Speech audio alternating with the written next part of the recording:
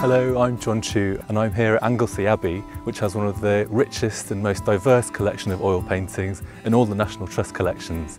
And we're going to look today at the conservation treatment of several of the pictures here, which are included in a new publication, 100 Paintings from the National Trust collections. Lord Fairhaven collected an eclectic mix of antiques and artwork that he used to furnish his home, Anglesey Abbey. The collection here is really extraordinary because it's a very personal collection, all kind of collected in a particular time. And you can see not only what he liked, but also what it was possible to collect then. As a paintings curator, I'd work with a paintings conservator to ensure the long-term preservation of the pictures, their stability and their aesthetic appearance. Structural conservation, aesthetic conservation and then preventive conservation. And all of those things together make sure that our visitors see the paintings that we have in the best light possible now, but also that they're being preserved for future generations. This is one of the most interesting paintings in the house because if you just walk past it, you might just see a classical European landscape but if you look a bit closer, you see a number of elements which are clearly not European. So there's coconut palms swaying in the breeze, there's clearly non-European sculpture, and then the women who are bathing have tattoos on their bodies.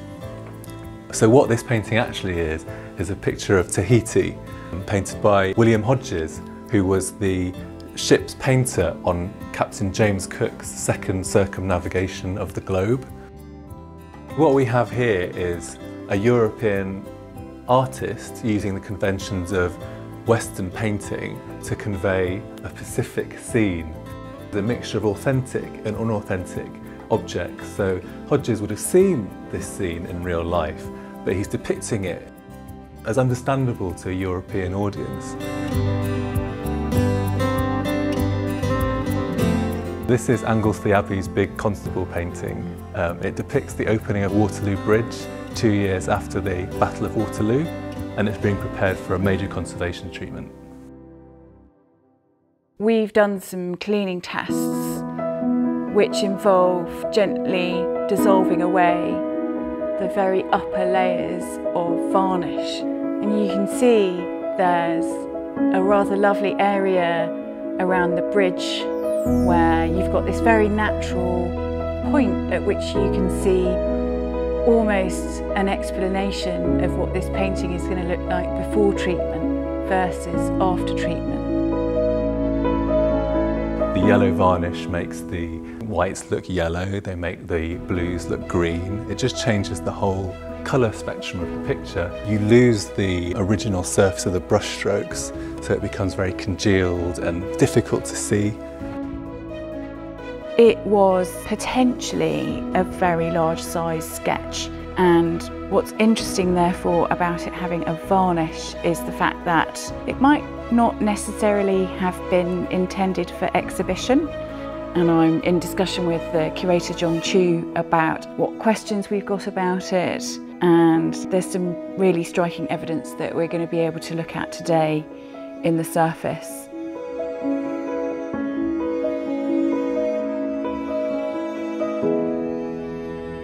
This is a painting by Edwin Landseer of Queen Victoria's favourite spaniel called Tilco and we're about to take it off the wall in order to examine the back of the painting and see what kind of artist board it's painted on. By the 19th century these boards were being sold ready-made to artists. You can see here is maybe evidence of an older label that might have been relating to the artist colourman that actually made and prepared this proprietary artist board.